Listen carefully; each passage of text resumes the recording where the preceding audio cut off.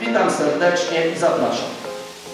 Tu muszę powiedzieć, za chwilę mamy yy, realizację na żywo przeprowadzaną sprzętem firmy Canon. Za chwilę wystąpi zespół muzyczny i będzie można zobaczyć, jak faktycznie wygląda realizacja na żywo takiego występu e, za pomocą torów kamerowych, za pomocą kamer PTZ.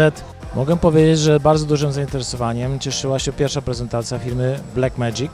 Tam pokazano profesjonalne zastosowania y, kamer marki Blackmagic w produkcji na żywo.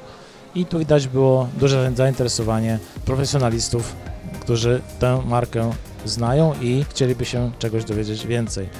Poza tym y, tłum, można powiedzieć, chętnych y, mamy przy montażu nieliniowego programem Edius oraz kolor korekcji, czyli Znowu firma Blackmagic i DaVinci Resolve.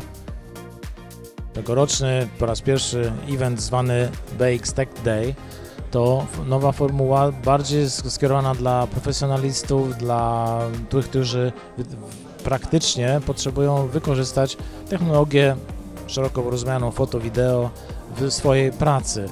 Stąd też e, nie ma wielkiej hali wystawowej, nie ma e, warsztacików i prezentacji, a jest właśnie nacisk na praktyczne zastosowanie tego, co BX ma w swojej ofercie e, dla no, szeroko rozumianej mm, gamy profesjonalistów od foto po wideo, ale również broadcast, ale również e, wirtualne studio.